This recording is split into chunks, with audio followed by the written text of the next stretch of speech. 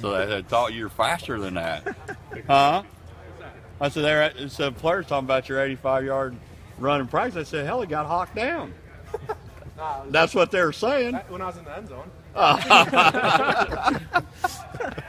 I just want you know what it says about how well he's moving. Yeah, he's yeah he's moving well. I mean, there's no there's no sense of him not moving well, and you know, again, Yeah, I extra saw week. But he practiced. Thank I, you. He practiced all week. We didn't pull him out and so Okay, forth. And no, he's moving. He's moving good. You know, and I don't know if you're interviewing him or not, but yeah, he's moving well.